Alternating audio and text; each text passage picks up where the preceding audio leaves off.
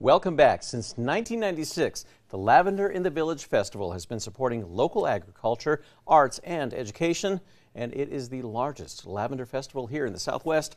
Now, that fest includes 110 vendors of lavender products, fine art, locally crafted wine, beer, and lavender cocktails, plus, of course, live music. So, this morning, we are proud and happy to be joined by the president and executive director of the Rio Grande Community Farm, Bruce Milne, and Jamie Wells, telling us more about this wonderful event and uh, all the lavender scents that come with it, right? Yes. Yeah, I cannot wait for that. Um, so let's talk about Lavender in the, uh, Lavender in the Village Festival. Yes, it'll be July 23rd from 8 a.m. to 3 p.m. at Harnett Park in the village of Los Ranchos. Like you said, it's been going on since 1996.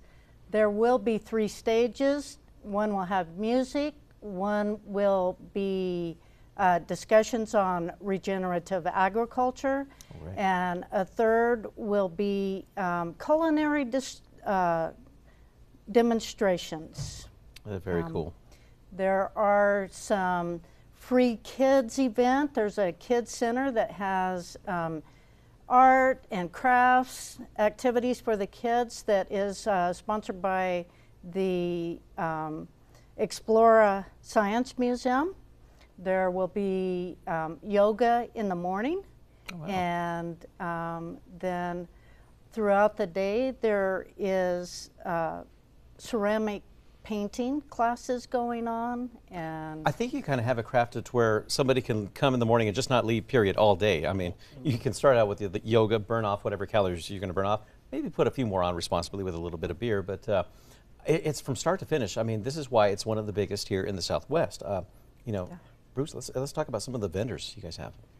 Um, well, there's going to be lavender, lavender, and la did I say lavender? You guys have lavender? Yeah, we have some. uh, all kinds of homemade artisanal products that are available through over 120 vendors, I believe. Yeah, right now. Wow. Yeah, and uh, we really favor the local scene, you know, local production and and helping small businesses like that.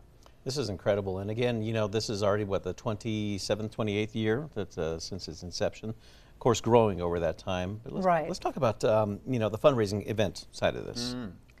So um, it's a fundraiser for the Rio Grande Community Farm, which is a farm on Los Poblanos Fields open space.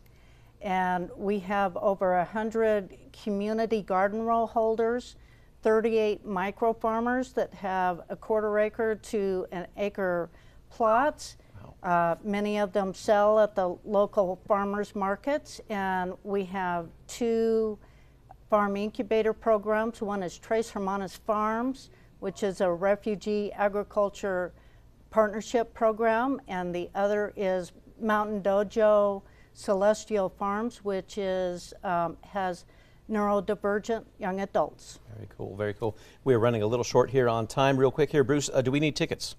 Yes, you need okay. uh, tickets, and they're available online through lavenderinthevillage.org. All right. Thank you both so much for joining us. We appreciate it. All right. Thank yep. you so much. Thanks, David. For a full recap, we'll have it later on this morning at Always On, krqe.com. Stay with us.